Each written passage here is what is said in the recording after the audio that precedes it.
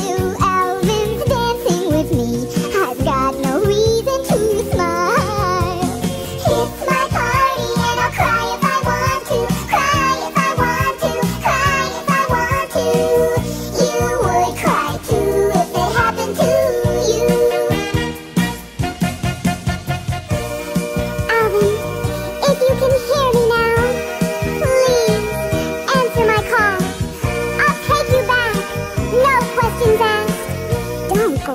Brittany.